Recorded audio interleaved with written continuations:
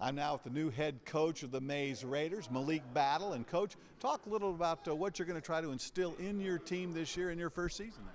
Pretty much, we just got to instill hard work, dedication, just to be committed to the program, committed to our system, what we're doing.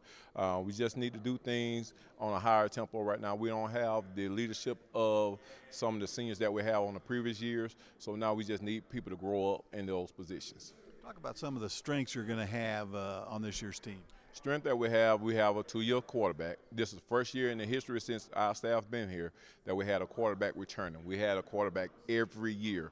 So now he is great with the system. He made good adjustments. He's like a coach on the field. Your team always has won a lot of games, 10 last year. Talk about the goals for this upcoming season. Well, the number one goal that we always have is to compete for a region championship and, and, possibly win. Then after that, you know, we'll try to win a game each week for the next four weeks to make it back to the state championship. So that's all our goals. Always try to one win a region title, be competitive in in a region playoffs, not the region playoff, but the state playoffs. Then make it to the state. Now, talk about the competition level in the Atlanta public school system because it's always a dogfight when the two schools get together on the gridiron somewhere.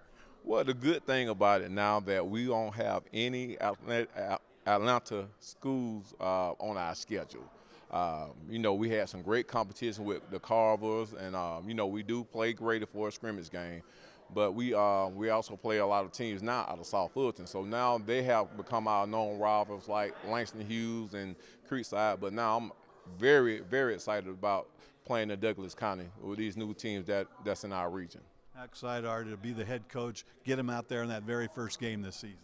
Well, you know, the thing, I'll never put the emphasis on me as being excited. I think as a coaching staff, we are excited together about getting these kids to the next level. Well, listen, good luck this year. I appreciate it, sir.